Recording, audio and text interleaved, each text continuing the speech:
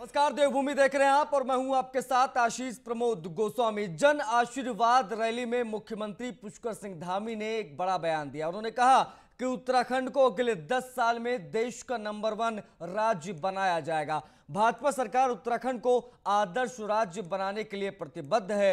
इस दौरान उन्होंने कांग्रेस पर भी तंज कसा। सीएम धामी ने कहा कि जो रोज़गार गारंटी कार्ड की बात कर रहे थे, वो खुद बेरोजगार हो गए। मसूरी विधानसभा क्षेत्र में भाजपा की जन आशीर्वाद रैली में भीड़ उमड़ पड़ी। इस दौरान मुख्यमंत्री पुष्कर सिंह धामी राज्यसभा सदस्य नरेश बंसल और काबीना मंत्री गणेश जोशी ने पेयजल सड़क समेत मसूरी विधानसभा क्षेत्र में विभिन्न योजनाओं का शिलान्यास भी किया। कम बोलेंगे कम घोषणाएँ करेंगे, लेकिन जितनी करेंगे, ठोस करेंगे।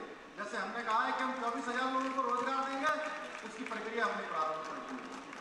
इसी प्रकार से हमने कहा कि हमारे नौजवान वो केवल रोज़गार मांगने वाले न बने।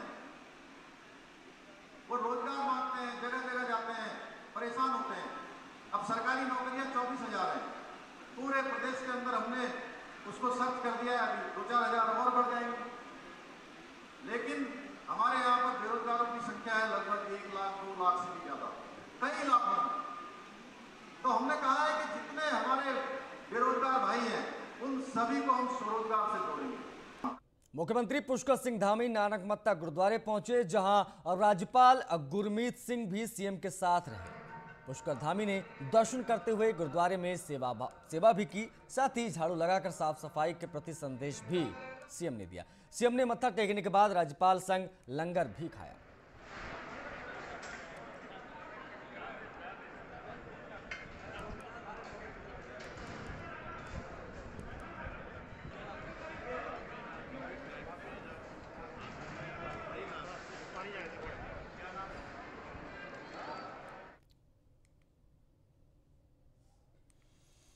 तो उत्तराखंड में आम आदमी पार्टी ने तिरंगा यात्रा निकाली। इस दौरान सीएम केजरीवाल ने बेरोजगारी, बिजली, पानी और अन्य मुद्दों को लेकर बीजेपी पर करारा हमला बोला। साथ ही उत्तराखंड की जनता से कई बड़े वादे भी किए। आए आपको दिखाते हैं इस रिपोर्ट में। आपकी ललकार पहाड़ में बनेगी सरकार। पहाड़ में आएगी नौकरियों की बहार। 21 सालों की दुर्दशा 21 महीने में करेंगे ठीक। उत्तराखंड में अगले साल विधानसभा के चुनाव होने हैं, जहाँ बीजेपी हर दांव पेंच लगा रही है। वहीं पहली बार पहाड़ के इस दंगल में आम आदमी पार्टी भी कूद गई है। दिल्ली के सीएम और आम आदमी पार्टी के संयोजक केजरीवाल उत्तराखंड के हल्द्वानी पहुँचे, जहाँ से पार्टी ने बड़े ही दमखम के साथ तिरंगा यात्रा निकालकर उत्तराखंड में अपनी उपस्थिति दर्ज कराई। इस दौरान हज़ारों की संख्या में आप कार्यकर्ता भी शामिल हुए। जहाँ से चुनावी बिगुल फूका गया। इसके साथ ही उन्होंने उत्तराखंड चुनाव को लेकर कई बड़े ऐलान किए। अरविंद केजरीवाल ने कहा कि उत्तराखंड के बने हुए 21 साल हो गए हैं। इन 21 सालों में इन पार्टियों ने उत्तराखंड की दुर्दशा कर दी है। नदियाँ लूट ली, पहाड़ लूट लिए उत्तराखंड को बने हुए 21 साल हो गए। इन 21 सालों में इन पार्टियों ने, इन नेताओं ने उत्तराखंड की दुर्दशा करने में कोई कसर नहीं छोड़ी। नदियाँ लूट ली, पहाड़ लूट लिए, जंगल लूट लिए, जो मिला वही लूट लिया इन लोगों ने।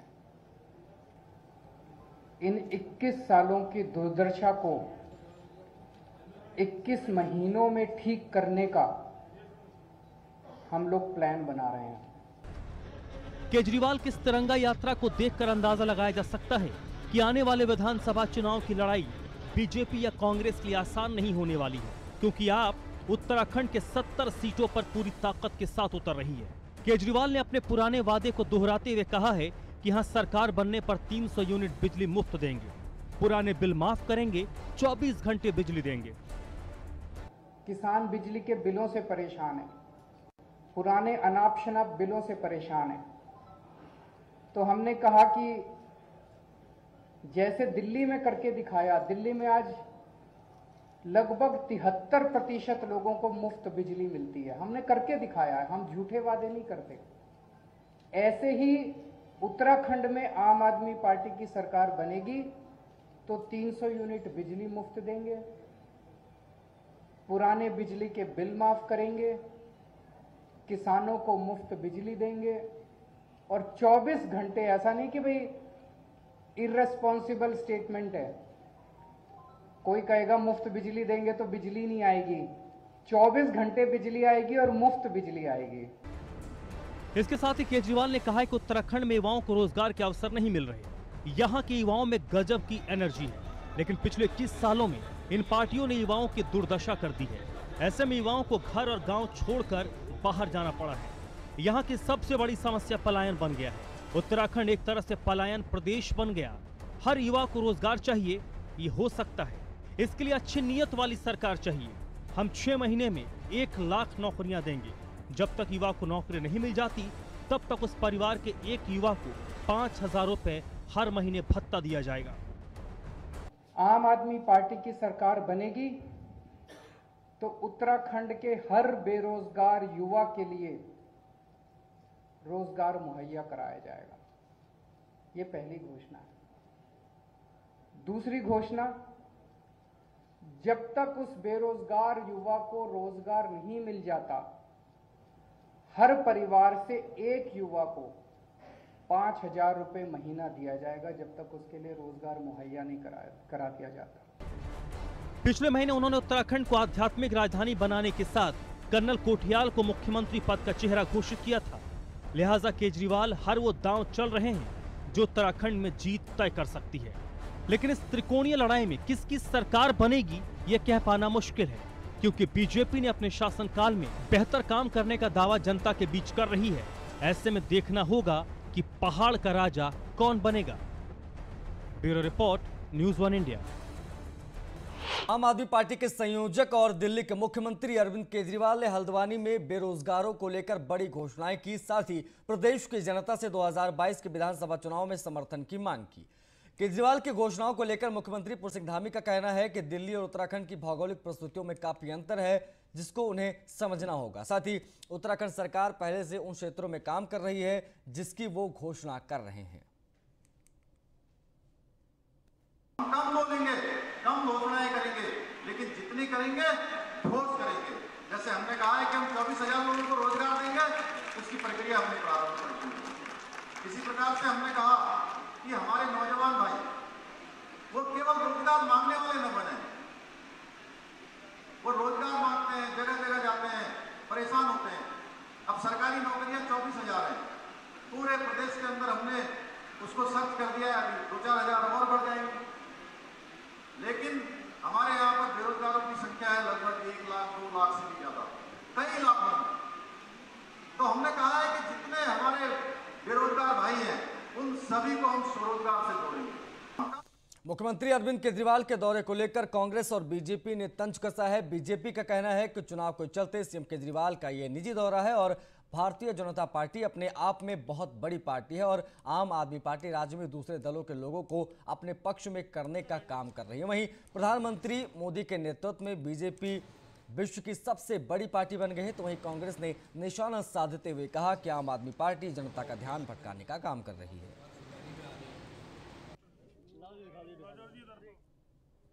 ऐसा है, चुनावी वर्ष है 2022 यानी कि फरवरी में चुनाव हो जाएँगे, कुछ कुछ ही महीने रह गए हैं। और घोषणाओं का दौर चल रहा है, घोषणाओं का मौसम चल रहा है। कोई भी पार्टी हो तो वो और जो घोषणाओं से सावधान रहना चाहिए, क्योंकि पूर्व में भी आपने देखा, पूर्ववर्ती जो सरकार, हमारी जो वर्तमान सरकार है 2017 में भी उन्होंने घोषणाओं का अंबार लगाया था और पूरी पुरानी घोषणाएँ पूरी हुई नहीं और नई घोषणाओं का अंबार फिर से लगाना शुरू कर दिया। दिल्ली सरकार श्रीमान अरविंद केजरीवाल जी का दौरा है। ये अपना उनका पार्टी का किरदार निभाते हुए दौरा है। आपको चुनाव यहाँ से जो लोग लड़ा रहे हैं, आप पार्टी यहाँ पे चुनाव में प्रतिभाग कर रही तो ये दौरे चलते रहेंगे कभी भाजपा का तो हमारा स्ट्रक्चर ही हमारी तो सरकार है। 19 करोड़ रुपये का 19 करोड़ का दल, जिसकी सदस्यता 19 करोड़ होगी और जिसके नेतृत्व में माननीय मोदी जी हो, माननीय अमित शाह जी हो, माननीय नड्डा जी हो और इतना बड़ा संगठन हो, और बहुत ही कर्तव्यनिष्ठ, कर्तव्यपरायण जिसके कार्यकर्ता हों वो निर्भीकता से कार्य करती है। तो केदारनाथ धाम की बुकिंग अगले 12 दिनों के लिए पूरी हो चुकी है और अब तक श्रद्धालुओं को करीब दस हज़ार पास जारी भी किए जा चुके वहीं बद्रीनाथ की यात्रा के लिए भी 4,830 पास की बुकिंग पूरी हो चुकी है।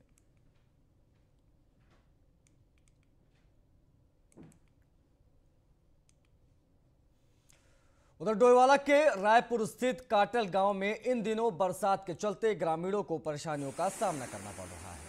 पुल और सड़क का निर्माण नहीं होने से लोगों को खासी दिक्कतें हो रही हैं। कई सालों से लोग शासन, प्रशासन से पुल की मांग कर रहे हैं, जो अब तक पूरी नहीं हो पाई है। वहीं बच्चों को स्कूल जाने के लिए भी जंगलों के बीच से गुजरना पड़ता है, जिससे उनकी जान का खतरा रहता है।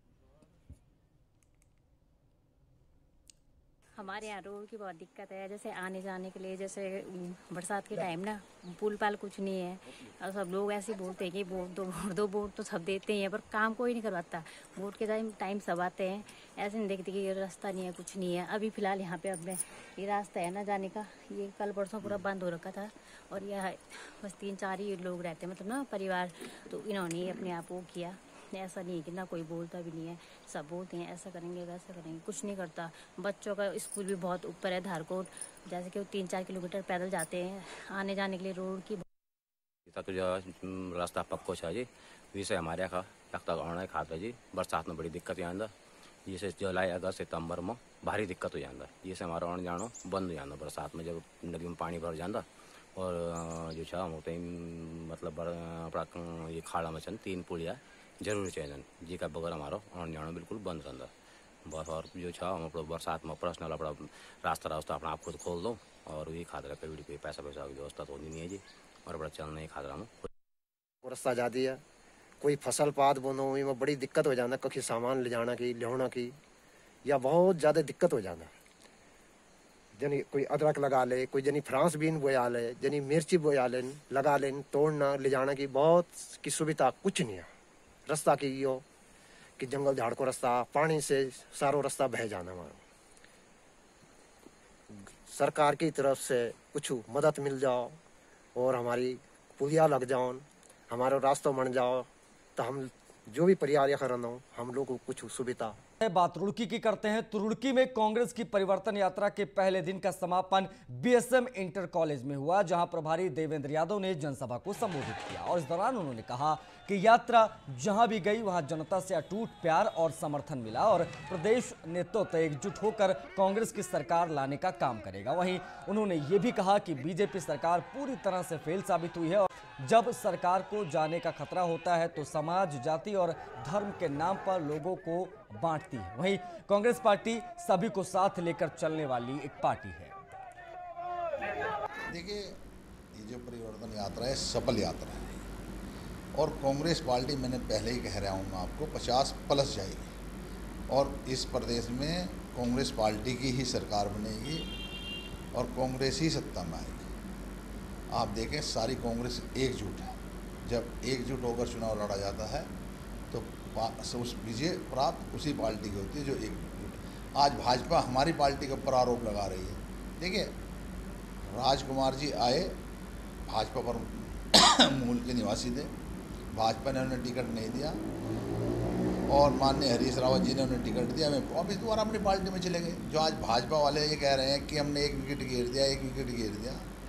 ऐसा यात्रा पूरी तरह सफल रही। क्योंकि इसमें हमारे प्रदेश स्तर के सभी बड़े नेता मौजूद रहे और उन्होंने अपनी अपनी बातें, कांग्रेस की योजनाएँ और भाजपा की विफलताओं के बारे में विस्तार से जनता को बताया। और आशा ये है कि पब्लिक जो है इस वक्त हताश बैठी है तो हताशा में अगर उसे कहीं आशा की किरण नज़र आती है तो वो उस बात को तवज्जो दे होती है ये ये शहीदों का हमारा प्रदेश है और हमारे जो शीर्षस्थ नेता हैं, राहुल गांधी जी, उनके परिवार के दो लोगों ने इंदिरा गांधी जी ने और राजीव गांधी जी ने देश की एकता और अखंडता के लिए अपने प्राणों की आहुति दी। हमारा उन नेताओं से कुर्बानी का रिश्ता है, उन नेताओं का इस प्रदेश से कुर्बानी का रिश्ता है और ये कुर्बानी का रिश्ता 2022 और 2024 में निश्चित रूप में कांग्रेस के पक्ष में परिणाम देगा। मेरे साथियों आज किसान भाई हमारा उद्वेलित है आंदोलित है। अब बात ऋषिकेश की करते हैं। तो ऋषिकेश की रायवाला थाना पुलिस ने स्मैक के साथ दो तस्करों को गिरफ़्तार किया है। फ़िलहाल पुलिस ने मुकदमा दर्ज कर आगे की कार्रवाई शुरू कर दी है। वहीं थाना अध्यक्ष भुवन चंद्र पुजारा ने बताया कि मुखबिर की सूचना पर पुलिस ने चेकिंग अभियान चलाकर दो तस्करों को गिरफ़्तार किया।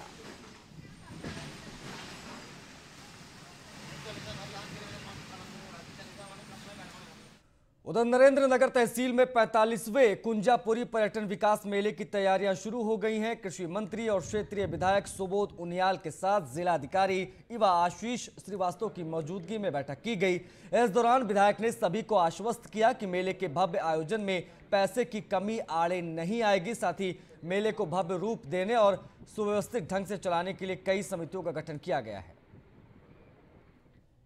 जो इस मेले शुरुआत करने के पीछे जो मंशा थी कि इस मेले के माध्यम से जहाँ लोगों को मनोरंजन प्राप्त हो उनको स्वस्थ और स्वच्छ मनोरंजन मिले, वहाँ साथ साथ इस मेले के साथ पर्यटन विकास का इसलिए जोड़ा गया था कि इस मेले के माध्यम से हमारे क्षेत्र को कई सौगातें मिली हैं। जैसे आप जानते हैं विगत वर्षों में मेले के माध्यम से तमाम सौगातें मिली। महामहिम राज्यपाल के माध्यम से, महामहिम हमारे मुख्यमंत्री जी, तमाम राज्य के मुख्यमंत्री कई बार इस मेले में मुख्य अतिथि के रूप में आए।